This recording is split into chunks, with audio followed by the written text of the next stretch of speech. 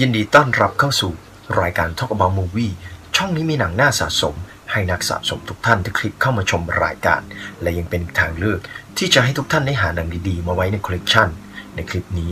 ผมจะพาทุกท่านย้อนไปในปี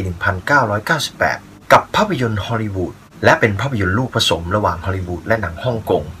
และภาพยนตร์เรื่องนี้เป็นภาครีเมค หรือภาค spin-off ที่สร้างต่อจากหนังต้นฉบับในปี 89 และนำมาฉายในปี 1998 แค่เลขของปีก็คล้ายกันแล้วครับ ภาพยนตร์แอคชั่นน่าสะสมในคลิปนี้ที่ผมจะมาแนะนำให้ทุกท่านได้ไปหามาชม ก็คือภาพยนตร์เรื่อง The Replacement Killers หรือชื่อไทย นักฆ่ากระสุนโลกันต์ในปี 1998 เรื่องราวเกิดขึ้นหลังจากที่นายตำรวจหนุ่มกำลังล้อมจับ การค้ายาเสพติดโดยลูกเจ้าพ่อมาเฟีย ในเหตุการณ์ครั้งนี้ นายตำรวจหนุ่ม ผู้มุ่งมั่นปราบปรามยาเสพติดได้พังฆ่าลูกเจ้าพ่อมาเฟียถึงแก่ความตายเรื่องนี้ ถึงหูของเจ้าพ่อมาเฟีย เจ้าพ่อมาเฟียจึงไม่พอใจ จึงเกิดการล้างแค้นเกิดขึ้น จึงไหว้วานให้จอห์นลีนักฆ่ามืออาชีพ ไปปิดชีพนายตำรวจคนนี้ แต่ด้วยจิตใต้สำนึกของจอห์นลีเขาคือคนที่มีคุณธรรม เป็นนักฆ่ามืออาชีพที่มีคุณธรรม เมื่อเขาเห็นนายตำรวจคนนี้อยู่กับครอบครัว เขาจึงใจอ่อน จึงยกเลิกภารกิจนี้ และไม่ฆ่า และไม่ทำภารกิจนี้ต่อ เรื่องราวใหญ่โตจึงเกิดขึ้น เมื่อเจ้าพ่อมาเฟียไม่พอใจในสิ่งที่จอห์นลีกำลังทำเขาจึงสั่งให้นักฆ่าทั่วทุกมุมโลกที่เขารู้จักมาล่าจอห์นลี เมื่อจอห์นลีตกที่นั่งลำบาก ต้องหาวิธีเอาตัวรอดทุกทาง และเขาได้รับความช่วยเหลือจากแฮกเกอร์สาวสุดสวย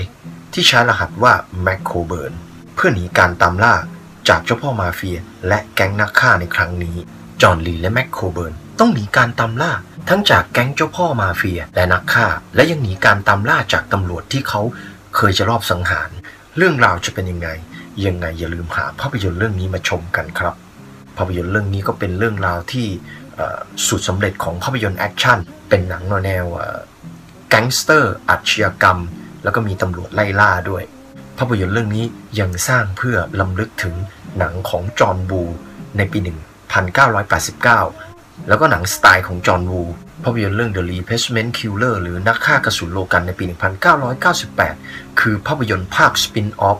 ที่แยกออกมาจากภาพยนตร์เรื่อง The Killer ในปี 1989 ผู้กำกับอังตวนฟูควา อยากที่จะทำภาพยนตร์เรื่องนี้ลำลึกถึงหนังมาเฟียฮ่องกงในยุค 80-90 จึงหยิบยกผลงานของจอห์นบูมารีเมคในแบบฉบับของตัวเองโดยใช้ชื่อ The Replacement Killer และเป็นภาคสปินออฟในส่วนของปี 89 นั้นตัวละครก็คือตัวเดียวกัน ต้นฉบับนี้ตัวละครจะชื่อเจฟลี ในฉบับ spin-off เนี่ยเขาใช้ชื่อว่าจอห์นลีจริงๆ แล้วมันคือเรื่องราวที่แยกออกมาจาก The Killer ครับ ในส่วนของฉากแอคชั่นนี้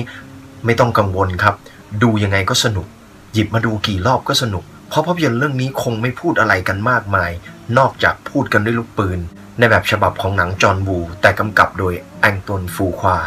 และเป็นภาพยนตร์เรื่องแรกที่แองตวนฟูควาหยิบยกมากำกับก่อนที่ เขาจะดังและมีผลงาน ภาพยนตร์แอคชั่นขึ้นหิ้งหลายเรื่องสำหรับคอหนังแอคชั่นฮ่องกงแล้วก็คอหนังแอคชั่นฮอลลีวูดผมว่าภาพยนตร์เรื่องนี้เป็นภาพยนตร์ลูกผสมที่น่าสะสม และหยิบยกมาดูทีไรก็ยังสนุก และยังมีอารมณ์ร่วมกับฉากแอคชั่นในภาพยนตร์เรื่องนี้ได้ตลอด ภาพยนตร์เรื่องนี้เขายังดึงจอห์นวูมาขึ้นแท่นเป็นโปรดิวเซอร์ร่วมด้วยแองตวนฟูควายังใส่มุกฉากแอคชั่นในแบบฉบับของหนังจอห์นวู เข้ามาไว้ในภาพยนตร์ของเขา และเขาทำออกมาได้ดี หลาย ๆ คนยังสับสนว่าภาพยนตร์เรื่องนี้ใครเป็นคนกำกับ แต่จริง ๆ แล้วภาพยนตร์เรื่องนี้แองตวนฟูควาเป็นคนกำกับ คือภาพยนตร์ที่เขาอยากเคารพครูอย่างจอห์นวูภาพยนตร์เรื่อง The Replacement Killer นักฆ่ากระสุนโลกันต์ ในปี 1998 นำแสดงโดยโชยุนฟะ มิราซอร์วิโน ไมเคิลรูเกอร์ เยอร์เกนบร็อกโน แดนนี่เทโจ ทิลชไวเกอร์ และเป็นผลงานการกำกับของแองตวนฟูควาสำหรับท่านที่คลิกเข้ามาชมรายการแล้ว ยังไงอย่าลืม กดไลค์กดแชร์ กด Subscribe อย่าลืมติดกระดิ่ง เพื่ออัปเดตข่าวสารของทาง Talk About Movie Channel ดูหนังฟังเพลงแล้ว ยังไงอย่าลืมรักษาสุขภาพกันด้วย ออกกำลังกายวันละนิดจิตแจ่มใส ดูหนัง ดูละคร แล้วย้อนมองดูตัวเราเองสำหรับคลิปนี้ สวัสดีครับ